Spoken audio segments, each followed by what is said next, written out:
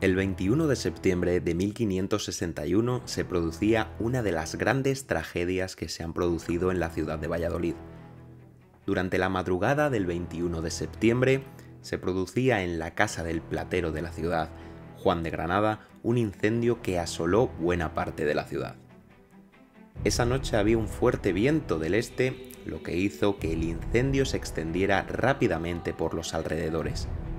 Cuentan las crónicas de la época que fueron cinco las lenguas de fuego que lo llevaron hacia las zonas más céntricas de la ciudad, destruyendo todas las casas que encontraba a su paso. Fueron más de 3.000 personas las que ayudaron a sofocar el incendio que finalmente pudo sofocarse 50 horas más tarde. La desgracia no vino únicamente por la destrucción de casas y negocios de la época, sino también porque se llevó consigo la vida de entre 3 y 6 personas. La ciudad quedó fuertemente afectada, puesto que quedaron destruidas entre unas 400 y 600 viviendas, lo que venía a ser una décima parte de la ciudad al completo. Pocos días después, se construyeron tiendas y talleres provisionales en la Plaza Mayor y se realojó a los afectados del incendio en casas de otros vecinos en lo que la ciudad se volvía a reconstruir. El ayuntamiento de la ciudad puso en conocimiento del rey Felipe II la catástrofe ocurrida solicitándole ayuda para paliar los daños producidos. El rey, que había trasladado la corte a Madrid, recibió la solicitud de la mano del corregidor de la ciudad Luis de Osorio, llegando a dictar 63 cédulas y provisiones para reconstruir el centro de la ciudad castellana que le vio nacer. Entre una de esas cédulas se encontraba la orden de acuñar moneda de vellón en la Casa de la Moneda de Valladolid para poder hacer frente a los gastos que se iban a generar con motivo de la reconstrucción de la ciudad.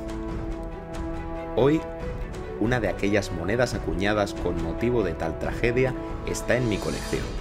¿Quieres conocer cómo fueron las monedas del incendio de Valladolid? Vamos allá.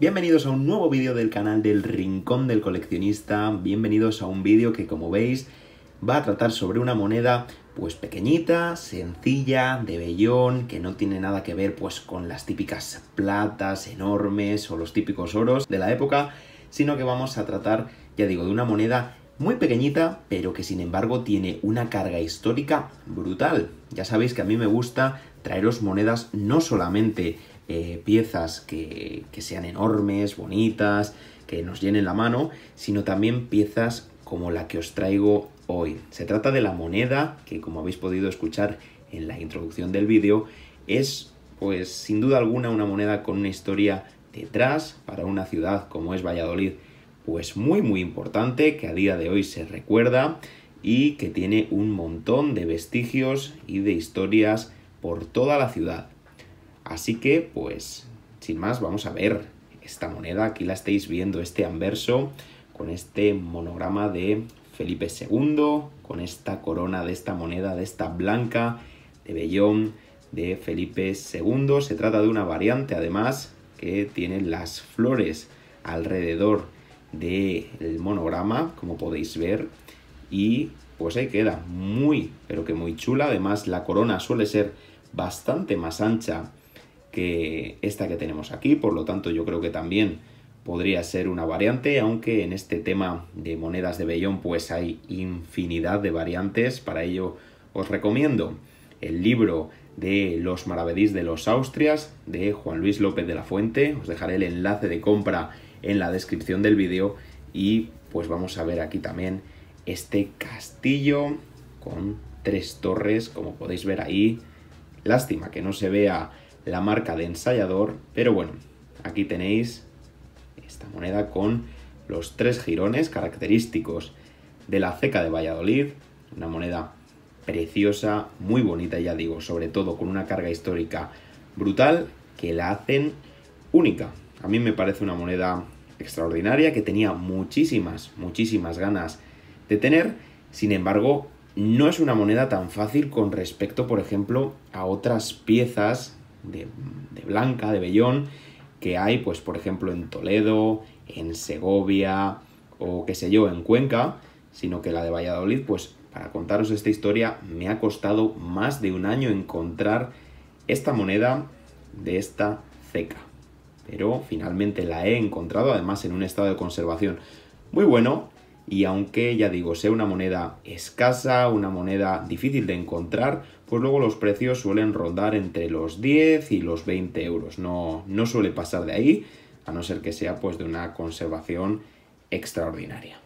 Pero bueno, aquí la tenéis, es una pieza ya digo muy pequeñita, tan solo 15 milímetros y con un peso de un gramo, un gramo coma uno más o menos, pues esto es lo que pesa esta pieza de aquí. Una pieza espectacular que como ya habéis visto tiene una carga histórica tremenda, una historia que contarnos como todas las monedas que pasan por aquí, por el canal del Rincón del Coleccionista. Y es que no solamente coleccionamos metales, sino que también la moneda antigua nos cuenta historias. Y esta, pues, por muy pequeña que sea, por muy menuda que la veáis, tenía una carga histórica detrás brutal.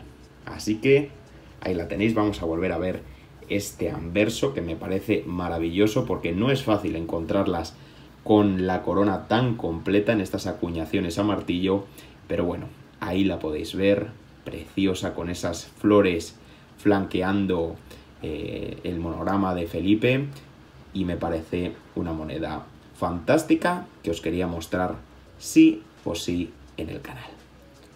Así que nada más, espero que os haya gustado la historia, de ser así que la compartáis con vuestros amigos, amantes de la historia, del coleccionismo, de la numismática, que si os ha gustado le deis me gusta, os suscribáis si no estáis suscritos y nos vemos muy pero que muy pronto en un nuevo vídeo. Muchas gracias por estar aquí y hasta la próxima, coleccionistas.